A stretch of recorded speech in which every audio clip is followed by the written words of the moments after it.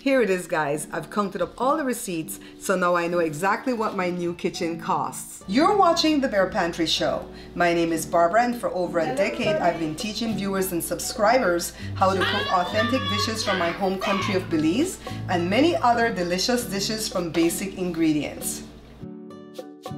Well, technically, it's only half the kitchen. So we've lived in this house for 26 years. We've renovated the guest bathroom twice. Not once have we renovated the master bathroom or the kitchen. Well, we did kind of renovate the kitchen about six or seven years ago, but what we did was just paint the cabinets white and put the black doorknobs, right? So that gave it a little bit of a new face, which actually worked for me doing the cooking show. But take a look at the cabinets when I bought the house. The owner had just revarnished them Look at the pink Formica countertops, guys. You know what? That countertop lasted 26 years. So I'm just going backwards to show you what we were working with at first and we painted them white. And now Joe decided he was going to build cabinets by looking at YouTube videos. I'm so proud of this man because he looked at a bunch of videos. Now he's telling us why these hinges are not working because I guess the, the cabinets are either framed or frameless. Look at the gaping hole right here. I didn't like that. We went to Home Depot to check them out. A lot of them at the Home Depot was like that. So Joe went ahead and found this from Amazon, these hinges. And they actually worked to close in the gap and see their soft close for the doors. So he took a long time. He started on March the 21st. He had to learn how to put in the slides for the drawer, build a box for the drawer, build a facing for the drawer. And at first we thought we were gonna buy doors but we found out that those were super expensive, so he decided he was going to learn to make his own doors. And he decided he was going to do shaker doors. So today he's painting them. You know, he took his time with this, guys, because he didn't want to make a whole bunch of mistakes. And he still made a few mistakes, but we'll talk about that at the end, all right? So he's painting them Breezeway Green. This is the color that I picked. I saw it on um, Google when I was searching and then I went to Home Depot to find it. So we decided we were going to save the upper cabinets and the pantry because those were still good. He's using a heat gun to go ahead and remove three layers of contact paper that's in the cabinets and then we're going to paint it white. We're going to paint the shelves white. We don't want to deal with contact paper anymore, all right?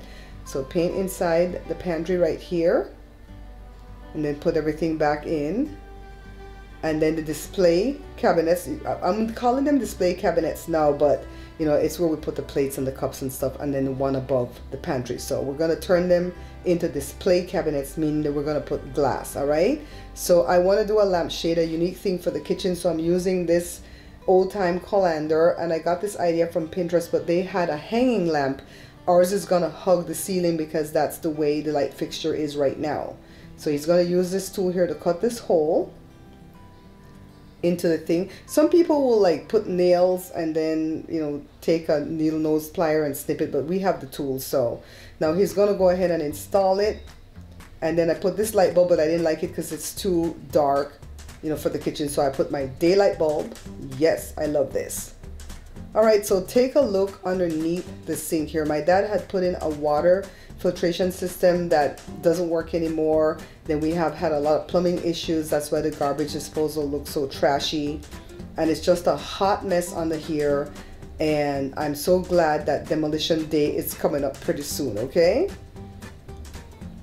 Oh, goodness. This is gonna be gone, guys.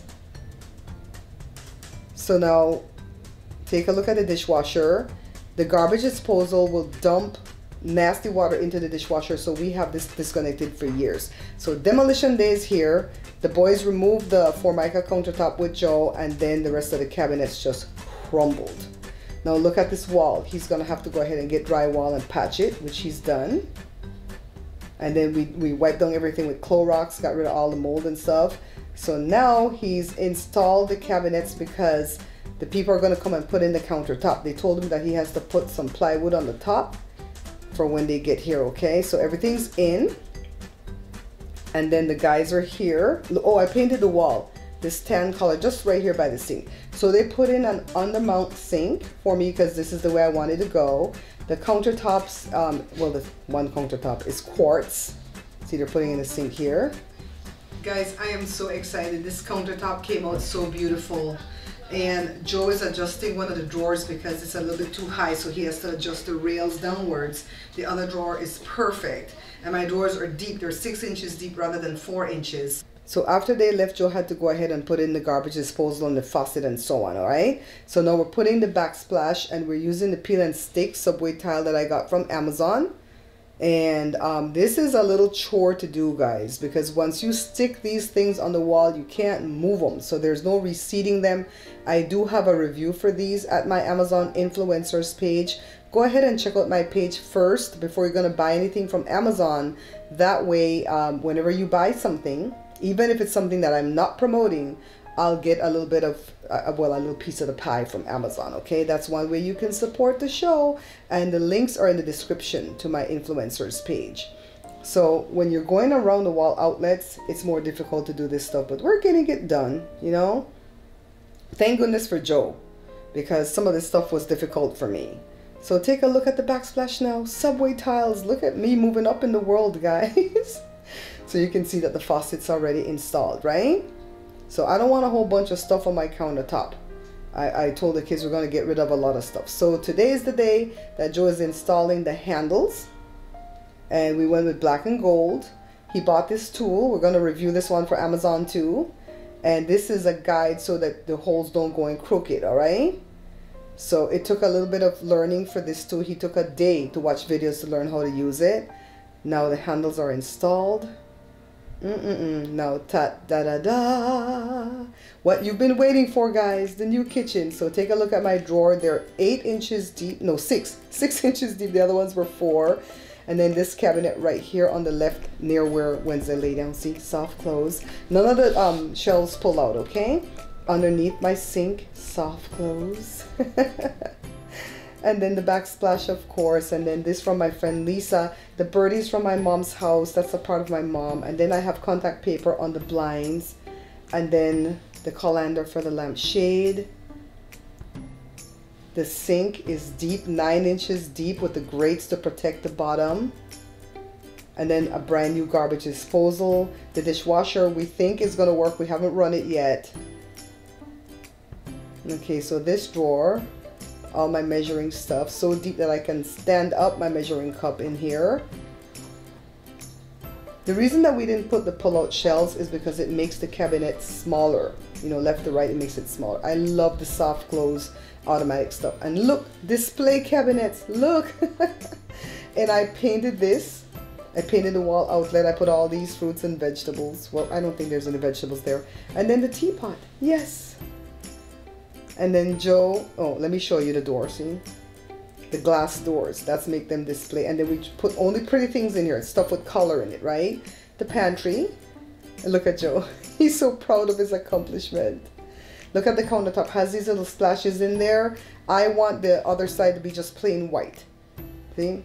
We're gonna get to this, guys, sooner or later. Now let's take a look at pictures. So from this angle, then voila, this angle, voila. And then take a look at this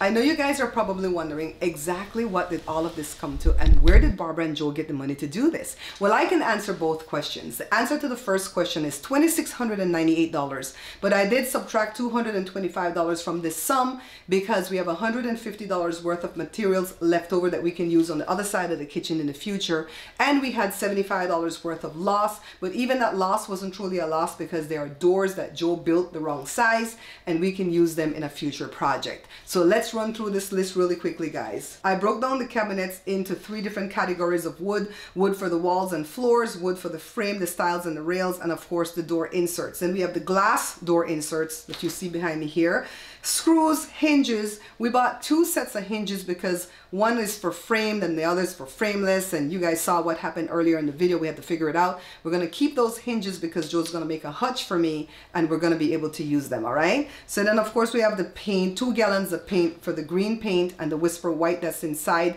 the cabinet. And then we bought a quart of paint for the outside of the cabinets and that sleek white because Joe didn't want the outside of the cabinets to be like really, really white. The sleek white has a tinge of green in it, so it brings up even more of the green that we have here. The sink, the faucet, the garbage disposal. You guys saw that trash garbage disposal that we had. The garbage disposal kit, the sink straighter. I put everything down from the sandpaper, the putty.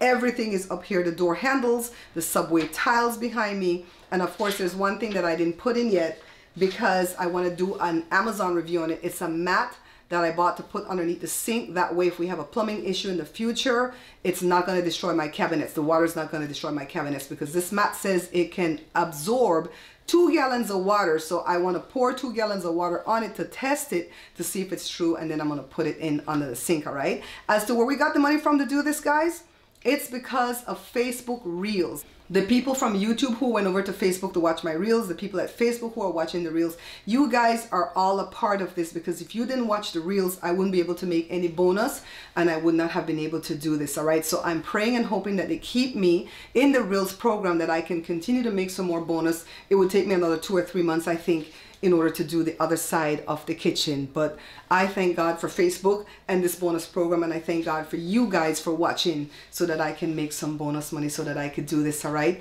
This was done for Mother's Day. We just, Joe just put on the um, pantry door today. He put on the handles today and then I painted the wall outlets and then it the job is complete. So I hope you guys like what I've produced here for you today. If you like the video, please hit the like button because that helps a lot for me to stay in the algorithm. And of course, if you want to reach out to me to become a sponsor to the show or to find out, you know, give me a show idea or something, hit me up at this email below, barepantryshow at gmail.com. And what else? If you want to donate, I have a cash app. It's dollar sign Bare Pantry Show. If you guys want to donate to the next side of the kitchen, that is more than welcome. But you don't have to, but that's more than welcome. And of course, I will see you guys in the next video. Remember guys, we are not buying this book. Pick up a copy of this book instead. Beans and Rice Volume 2 is the only Belizean cookbook backed by the Bare Pantry Show. Take a look at all these wonderful recipes you'll find inside the pages. Not interested in Belizean dishes? Then the Pantry Laid Bare with these better than restaurant quality comfort foods might be the perfect book for you. Only need a small batch or a meal for two?